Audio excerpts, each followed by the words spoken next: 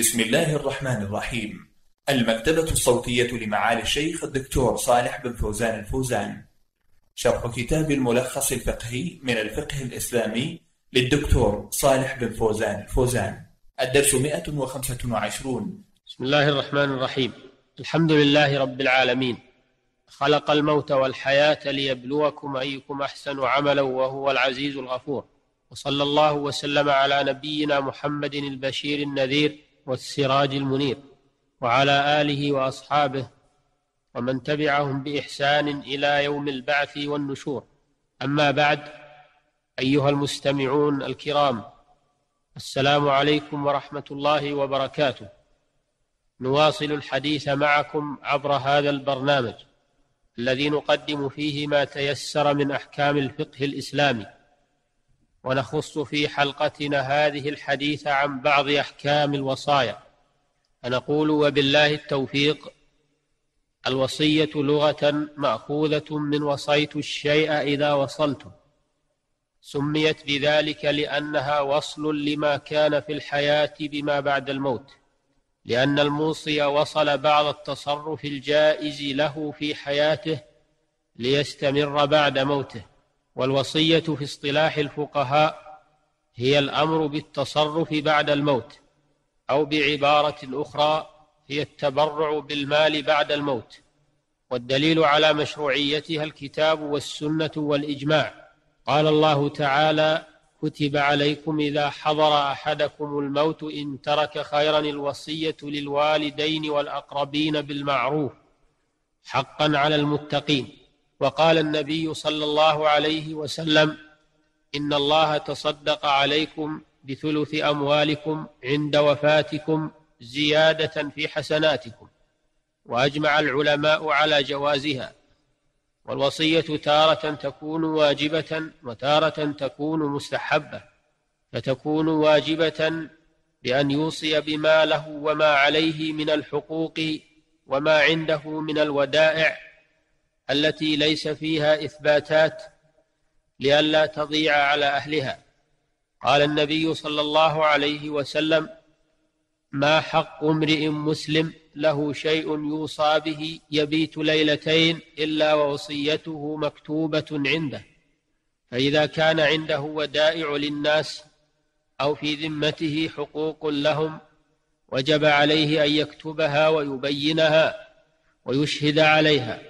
وتكون الوصية مستحبة بان يوصي بشيء من ماله يصرف في سبل البر والإحسان ليصل ثوابه إليه بعد وفاته. فقد أذن له الشارع بالتصرف عند الموت بثلث المال. وهذا من لطف الله بعباده لتكثير الأعمال الصالحة لهم. قال صلى الله عليه وسلم إذا مات ابن آدم انقطع عمله إلا من ثلاث صدقة جارية أو علم ينتفع به أو ولد صالح يدعو له. من تصح منه الوصية؟ تصح الوصية حتى من الصبي العاقل كما تصح منه الصلاة وتثبت بالإشهاد وبالكتابة المعروفة بخط الموصي. ومن احكام الوصية أنها تجوز بحدود ثلث المال فأقل وبعض العلماء يستحب الا تبلغ الثلث. فقد روي عن أبي بكر الصديق وعلي بن أبي طالب رضي الله عنهما فقد قال أبو بكر رضي الله عنه رضيت بما رضي الله به لنفسه. يعني في قوله تعالى واعلموا أن ما غنمتم من شيء فأن لله خمسة. وقال علي رضي الله عنه لأن أوصي بالخمس أحب إلي من أن أوصي بالربع. وقال ابن عباس رضي الله عنهما لو أن الناس غضوا من الثلث إلى الربع فإن رسول الله صلى الله عليه وسلم قال الثلث والثلث كثير ولا تجوز الوصية بأكثر من الثلث لمن له وارث إلا بإجازة الورثة. لأن ما زاد على الثلث حق لهم فإذا أجازوا الزيادة عليه صح ذلك. ومن أحكام الوصايا أنها لا تصح لأحد من الورثة لقوله صلى الله عليه وسلم لا وصية لوارث رواه أحمد وأبو داود والترمذي وحسنه وله شواهد. وقال الشيخ تقي الدين اتفقت الأمة عليه.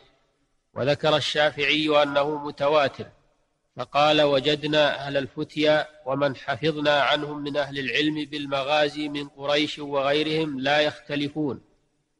لا يختلفون أن النبي صلى الله عليه وسلم قال عام الفتح لا وصية لوارث ويأثرونه عمن لقوه من أهل العلم إلا إذا أجاز الورثة الوصية للوارث فإنها تصح لأن الحق لهم. وتعتبر صحة إجازتهم بالزيادة على الثلث لغير الوارث وإجازتهم الوصية للوارث إذا كانت تلك الإجازة صادرة منهم في مرض موت الموصي أو بعد وفاته. ومن أحكام الوصية أنها إنما تستحب في حق من له مال كثير ووارثه غير محتاج. لقوله تعالى كتب عليكم إذا حضر أحدكم الموت إن ترك خيرا الوصية الآية.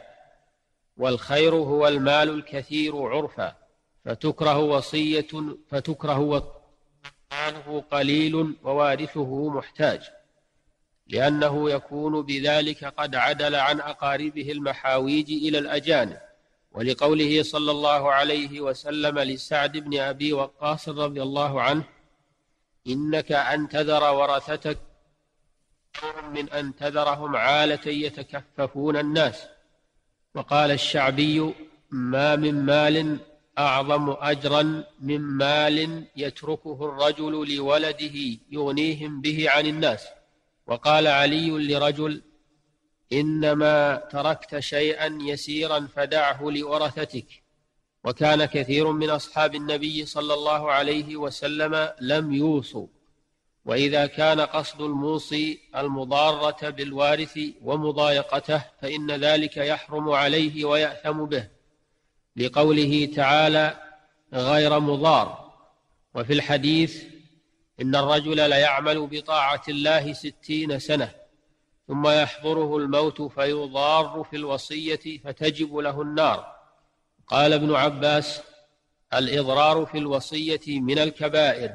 قال الإمام الشوكاني رحمه الله في تفسيره قوله غير مضار أن يوصي حال كونه غير مضار لورثته بوجه من وجوه الضرار كأن يقر بشيء ليس عليه أو يوصي بوصية لا مقصد له فيها إلا الإضرار بالورثة. لا مقصد له فيها إلا الإضرار بالورثة أو يوصي لوارث مطلقا أو لغيره بزيادة على الثلث ولم تجزه الورثة. وهذا القيد أعني قوله غير مضار راجع إلى الوصية والدين المذكورين في الآية فهو قيد لهما. فما صدر من الإقرارات بالديون أو الوصايا المنهي عنها أو التي لا مقصد لصاحبها إلا المضارة لورثته فهو باطل مردود لا ينفذ منه شيء لا الثلث ولا, ولا دونه. انتهى كلام الشوكاني رحمه الله. أيها المستمعون الكرام نعدكم في الحلقة التالية إن شاء الله مواصلة الحديث في موضوع أحكام الوصايا فإلى مثل ذلك الحين من الأسبوع القادم إن شاء الله. السلام عليكم ورحمة الله وبركاته.